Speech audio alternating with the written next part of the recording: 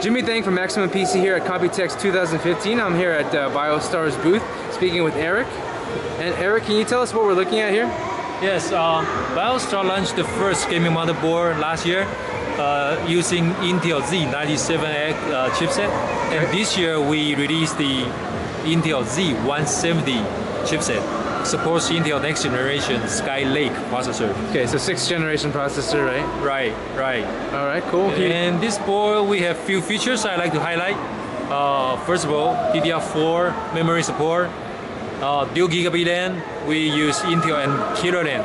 Okay. And for storage, we have uh, PCIe M.2 and SATA Express. Okay. Uh, of course, connections, uh, we use USB 3.1 Type C. Okay. Where's the Type C here? Is Yeah, it's- underneath here. It's a lot smaller than uh, than I thought it would be. Yeah. So it's and pretty cool. of course, our hi-fi audio Okay. codec for better audio, you know, quality. Okay.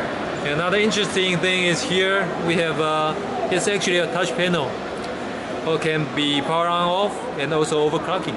Okay. Awesome. And then uh, you know when is this motherboard coming out? How much is it going to retail for? Uh, it will be available in August worldwide, and we expect the MSRP is around 220 US dollars. Okay. And then you know uh, I have to ask since this is for uh, Skylake, you know how do you think uh, Skylake will compare it to like Haswell?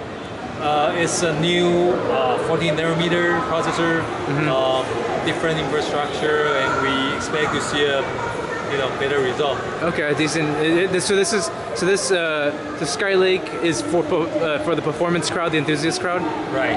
Okay, because I know a lot of people were kind of disappointed by Broadwell a little bit Uh-huh. because it was more of a mobile thing. But you're saying if you're an enthusiast, Skylake is what you want. Yeah, especially you can upgrade your memory to DDR4. Oh, okay, gotcha. Cool. Thanks, Art. Thank you.